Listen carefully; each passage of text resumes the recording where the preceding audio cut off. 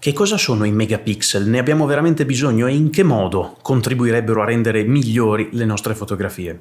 Ciao a tutti amici, bentornati sul mio canale. Io sono Cesare, mi occupo di fotografia e oggi voglio andare a fare un video semi-definitivo su questo argomento, nel senso che molti di voi mi hanno chiesto quanti megapixel mi servono per lavorare, di quanti megapixel ha bisogno il sensore della mia fotocamera. Oggi vado a dimostrarvi innanzitutto che cosa sono i megapixel, in secondo luogo andremo a vedere quanti megapixel servono per i vari scopi a cui possiamo dedicare dedicare alla nostra arte fotografica. In definitiva andremo a scoprire se mettere tanti megapixel sul sensore di una fotocamera serve a rendere migliori le nostre fotografie o serve solamente a convincerci che la fotocamera nuova sia migliore della precedente. Prima di cominciare io vi consiglio di iscrivervi al mio canale cliccando il bottone qui sotto perché ci saranno altri contenuti come questo in cui andremo a esaminare falsi miti, vi porterò tutorial, trucchi del mestiere, recensioni di strumentazione e ne parleremo poi nei commenti perché io spesso vi rispondo rispondo con dei video verticali, quindi chi si iscrive adesso non rischia poi di perdersi questi contenuti. Benissimo, ma a questo punto io direi facciamo un salto all'interno del mio computer. Come potete vedere qui abbiamo una delle ultime fotografie che ho postato su Instagram. Andate pure a vedere il mio Instagram, ma io vi sconsiglio di iscrivermi lì. Lo sto dicendo spesso ragazzi, non scrivetemi su Instagram, commentate qui sotto, perché se scrivete su Instagram io su Instagram entro una volta al mese e la sezione commenti la apro una volta ogni 40 giorni. Quindi se mi scrivete qui vi rispondo in fretta, se mi scrivete lì e mi dite guarda ho un'emergenza, domani devo fare delle fotografie al compleanno della zia Ernesta, che cosa devo portarmi? Vi rispondo che è già passato il compleanno della zia Ernesta, quindi è meglio se mi commentate qua. Ad ogni modo, questa qui è una delle ultime foto che ho postato su Instagram. Come potete vedere, questa è una fotografia che misura 6720 x 4480 pixel. Ora, se noi andiamo a moltiplicare lato lungo per lato corto, otteniamo 30 megapixel. Questa è una fotografia da 30 megapixel scattata scattata con la Canon EOS R, che è una fotocamera che appunto ha 30 megapixel sul sensore. Comincio col presentarveli questi pixel. Se noi andiamo a zoomare, vedete che a un certo punto, eccoci qui, questi sono i pixel. Questi simpatici quadratini colorati sono i pixel della nostra immagine. Ora non stiamo a contarli, ma i pixel in questa foto sono 30 milioni.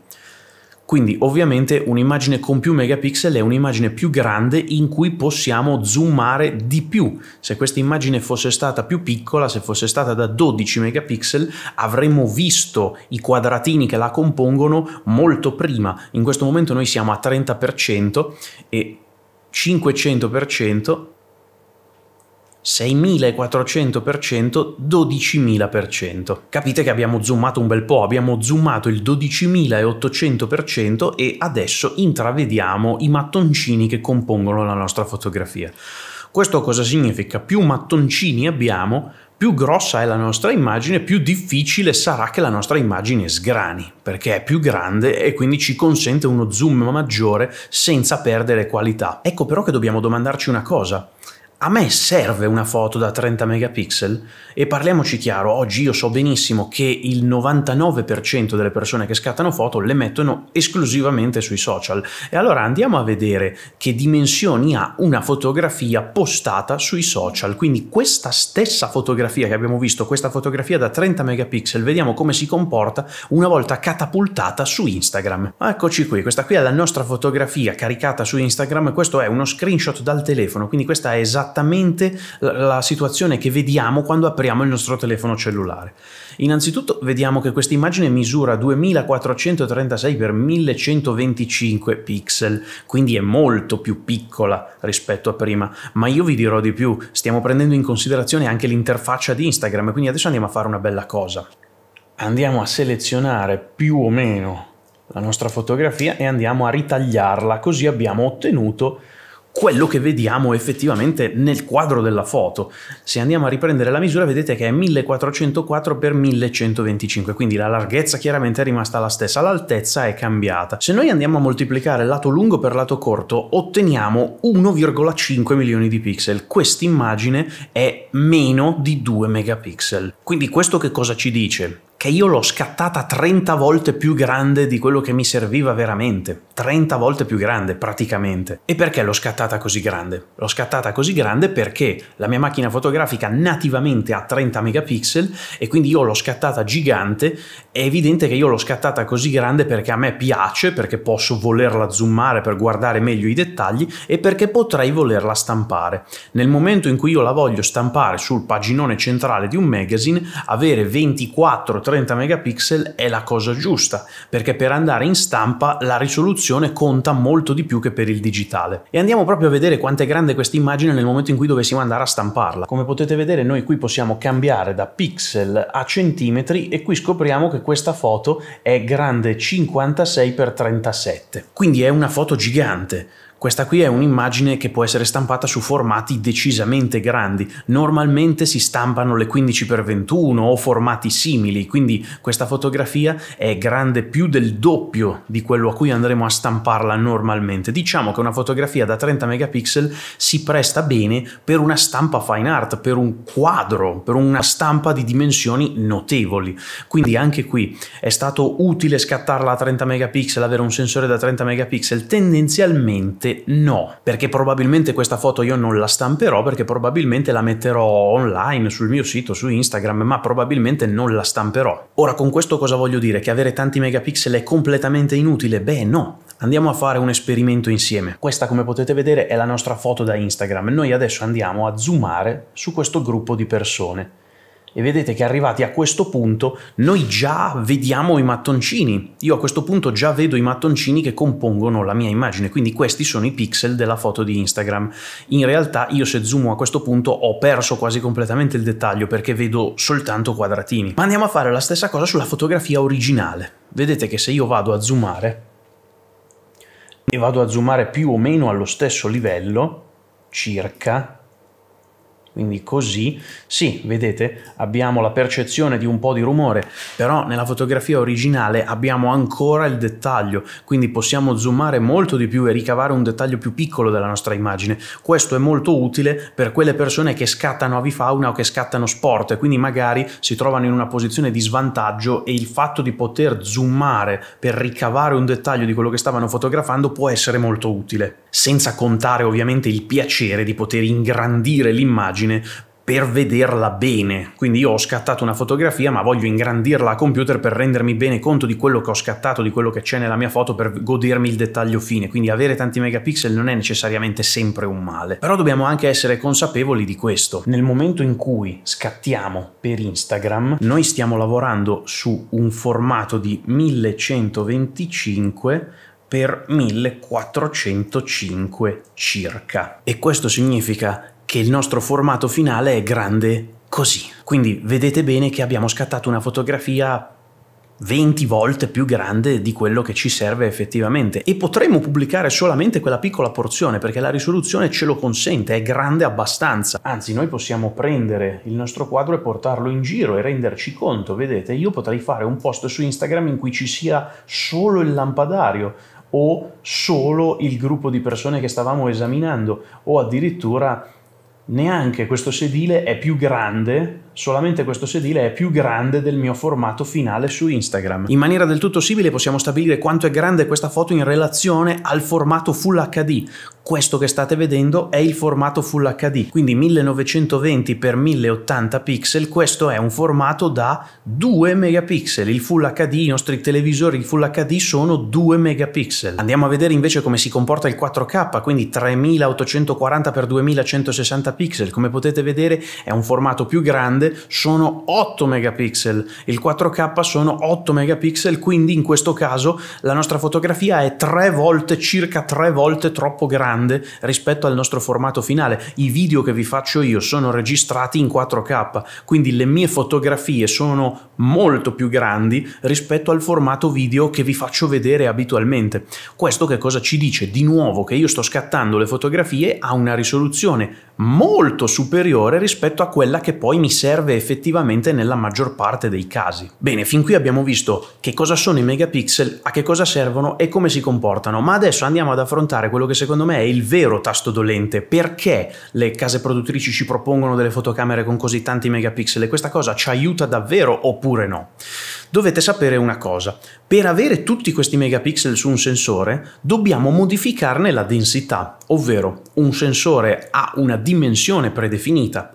Il sensore full frame è 24x36, il sensore APS-C ha lo stesso rapporto ma è un pochino più piccolo, poi c'è il 4 terzi che è ancora un pochino più piccolo, le dimensioni del sensore sono già stabilite, quindi un sensore più grande di così non può essere o meglio, ci sono dei sensori più grandi, ma sono altre fasce di prezzo, altri tipi di fotocamere. Sulle nostre fotocamere il sensore quello è e quello rimane. Questo significa che per mettergli più megapixel dobbiamo ridurne la dimensione. Ora, immaginatevi che ogni pixel, quindi ogni collettore sul nostro sensore, sia un bicchiere. Avete presente alle feste, quando si mettono i bicchieri di champagne uno sopra l'altro e poi si versa a cascata e tutti quanti i bicchieri vanno via via a riempirsi? Il nostro sensore funziona in maniera più o meno simile, nel senso che ogni bicchiere va a raccogliere una certa quantità di luce. Ecco però che se noi abbiamo dei bicchieri, delle coppe grandi, andranno a raccogliere tante informazioni. Se noi abbiamo dei bicchieri piccoli, la quantità di informazioni che riescono a catturare sarà inferiore. Questo che cosa ci dice? Se noi abbiamo un sensore con tanti pixel molto piccoli, avremo una performance peggiore quando lavoriamo ad alti ISO e avremo una gamma dinamica ridotta mentre viceversa un sensore con pochi megapixel avrà una performance migliore sotto questi due punti di vista. Quindi vi posso parlare per esempio della Sony Alpha 7 S3 una macchina che è stata pensata per fare video e che ha 12 megapixel. È una macchina che io ho avuto il piacere di provare e anche di distruggere. Ho già pubblicato un video a questo proposito. Purtroppo quella macchina è stata distrutta, ma è stata riparata. Eh? In realtà ho sentito dopo dal, dal noleggiatore che è stata riparata, quindi non l'ho uccisa, l'ho solo ferita gravemente. Quella è una macchina spettacolare dal punto di vista video perché avendo 12 megapixel ha una performance ad alti ISO semplicemente paurosa e ha una bellissima gamma dinamica proprio in virtù del fatto che avendo un sensore di quelle dimensioni ma con dei pixel più grossi, con dei collettori più grossi, riesce a restituirci una performance migliore. Questo che cosa significa? Che le mie fotocamere da 30 megapixel fanno schifo, performano molto peggio? Beh, sicuramente performano peggio da quel punto di vista, sicuramente per quanto riguarda tenuta ad alti ISO e gamma dinamica performano indubbiamente peggio della Sony Alpha 7 S3. Questo è necessariamente un male? Dipende, la maggior parte delle volte io non vedo neanche la differenza perché faccio delle cose in cui tutta quella performance non mi serve o comunque non è indispensabile. Una cosa è sicura, quando io mi vedo proporre da un venditore un corpo macchina da 40-60 megapixel, immediatamente storco il naso perché anche se è vero che tecnologicamente, digitalmente si riesce a ovviare un po' a questi difetti ormai. Quindi digitalmente l'immagine viene lavorata e processata per diminuirne il rumore, digitalmente l'immagine viene elaborata e processata per aumentarne la gamma dinamica così che io percepisca di meno lo squilibrio tra tutti questi megapixel, quindi collettori piccoli e la resa finale della mia immagine. A livello globale, sul risultato finale, io noto poco la differenza perché comunque la tecnologia è andata avanti e le case in questo sono brave a farci vedere un prodotto finale bello sgargiante che ci dia un risultato gradevole. Però io so benissimo che io li sto pagando tutti quei megapixel. La casa butta fuori un modello con 40, 60, 80, 100.000 megapixel e mi fa pagare di conseguenza. Mi dice guarda questo è un modello da 100 megapixel, me lo devi pagare 4.000 euro perché di solito i prezzi prezzi sono questi. Al che a me verrebbe da dire, ma non potevate farmi un modello da 20 megapixel e farmelo pagare 2000? Perché quello io l'avrei comprato volentieri, mentre un modello da 100 megapixel che costa 7000 euro mi viene un po' indigesto. Ora, fin qui ho lasciato una parvenza di dubbio perché comunque, secondo me, avere tanti megapixel può anche essere una cosa bella, può anche essere una cosa che noi apprezziamo. Pensate semplicemente al matrimonio della cugina Agatha, a cui la zia Ernesta si era presentata vestita di tutto punto, però la zia Ernesta non ama farsi fotografare e quindi l'unica fotografia dove è venuta bene è la foto di gruppo, con tutte le 190 persone invitate al matrimonio. E allora noi che cosa facciamo? Avendo tanti megapixel possiamo zoomare questa foto e andare a ritagliare il particolare della zia Ernesta che sorride. È l'unica foto in cui sorride perché è stata un po' scontrosa rosa quel giorno la zia Ernesta. In questo caso avere tanti megapixel ci ha sicuramente aiutato. In una foto diurna diciamo che le performance ad altisio dovrebbero pesare un po' di meno e la carenza di gamma dinamica si nota solamente in zone di forte contrasto, quindi probabilmente se abbiamo esposto correttamente per l'incarnato la fotografia è corretta e va bene così. A questo punto però voglio farvi vedere quello che secondo me è il vero problema di questa politica di mettere tutti questi megapixel. Torniamo un attimo nel mio computer, venite con me. Come potete vedere qui abbiamo la fotografia scaricata da Instagram e come potete vedere questa immagine pesa 1,5 megabyte. Quindi è una fotografia piccola con pochi megapixel pesa poco, è stata ridotta, è stata scattata a una risoluzione superiore ma poi è stata ridotta, quindi essendo stata ridotta adesso ha meno megapixel e pesa di meno. Ovviamente è una foto che non possiamo stampare, ha perso così tante informazioni che se la stampiamo, sì, se la mandiamo in stampa esce lo stesso, il computer ce la stampa, però non viene bene. E adesso andiamo a vedere quanto pesa l'originale e come potete vedere l'originale che è più grande perché è 30 megapixel ma chiaramente pesa di conseguenza l'originale pesa 45 megabyte, non 1,5, 45. Quindi fatevi la moltiplicazione, pesa 40 volte di più all'incirca. Il vero problema di mettere così tanti megapixel, il problema incontestabile di mettere così tanti megapixel, secondo me è questo. Il problema è che con delle fotografie così pesanti a me basta pochissimo per riempirmi la memory card e quando torno a casa ho il computer e l'hard disk che soffrono perché sono pieni di fotografie pesantissime e quindi devo stare molto attento, devo stare molto attento a quante ne faccio. Io non posso prendere una macchina da 40 megapixel e fare tutte le foto che voglio perché poi devo pensare che quando torno a casa mi ammazzo il computer, mi ammazzo l'hard disk e devo comprare un hard disk nuovo e devo comprare un computer nuovo e devo comprare dello spazio di archiviazione in cloud nuovo. Quindi spingendo sui megapixel ci stanno automaticamente praticamente spingendo anche a dover comprare delle cose in più. E questa è la cosa che a me è veramente un po' secca e questo è il motivo per cui per esempio ho voluto comprare una macchina come R6 e non R5 è, è il motivo per cui sto cercando di scappare da tutti questi megapixel. E quando vedo modelli nuovi addirittura APS-C che vengono lanciati sul mercato con 40 e passa megapixel io storco il naso perché so che quelle macchine avranno uno svantaggio fisico, costruttivo rispetto a macchine costruite con meno megapixel e in più mi riempiranno tutte le memorie di fotografie pesantissime che farò fatica a gestire. Questo è il motivo per cui secondo me bisogna stare attenti ai megapixel della nostra macchina fotografica, ma non perché deve averne tanti, perché deve averne pochi, ormai deve veramente averne pochi. Tenete conto, io ho parlato con diversi professionisti che vengono dal tempo della stampa, della pellicola e mi hanno detto tutti la stessa cosa, con 12 megapixel fai qualsiasi cosa, questo perché? È vero, vi ricordate quando abbiamo zoomato e abbiamo visto i quadratini, è vero che se io vado a zoomare come un folle sul mio file, vedo prima i quadratini se la mia fotografia fotografia ha una risoluzione inferiore. Però è vero anche che nel momento in cui io la stampo, se io stampo una fotografia da 12 megapixel in formato nativo, la guardo da una distanza di osservazione corretta, la vedo tutto sommato giusta. Che cosa succede se io la stampo più grande? Una fotografia da 12 megapixel la stampo su un formato così grande che perde un po' di risoluzione. Cosa succede? Bravissimi, che la vedo un po' sgranata. Però attenzione, quando io stampo su un formato così grande non la guardo più da questa distanza, mi allontano e parecchio anche. Ricordiamoci che la giusta distanza di osservazione dovrebbe essere due volte il lato lungo. Quindi se stiamo guardando un video su un televisore da 55 pollici, la corretta distanza di osservazione dovrebbe essere 110 pollici. Dobbiamo stare un bel po' distanti per avere una corretta fruizione di quello che stiamo guardando. Ecco che se noi stampiamo una fotografia da 12 megapixel su un 6x3, ma lo guardiamo da 12 metri, non si vede che è sgranata, perché certo sarà un po' sgranata, se andiamo a 15 cm lo vediamo che la qualità non è proprio eccelsa, ma dalla corretta distanza di osservazione la vediamo giusta. Questo che cosa ci dice?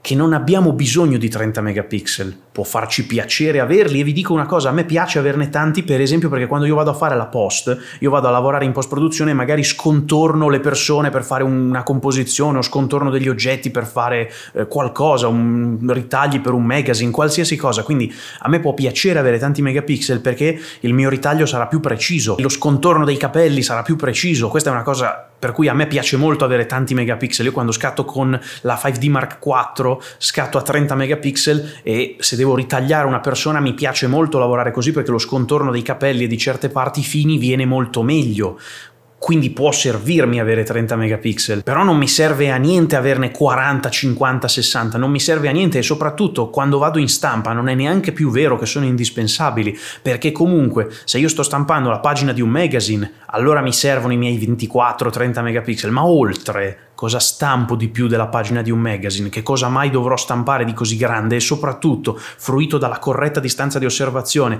chi se ne accorgerà se è un pochino sgranata. Questo semplicemente per dire cosa? Per dire che i produttori spingono sui megapixel perché non sanno più che cosa venderci e il numero dei megapixel sono come i cavalli di un'automobile, spingono su quel dettaglio perché è l'unico gancio che hanno per farci percepire che hanno migliorato qualcosa rispetto al modello precedente.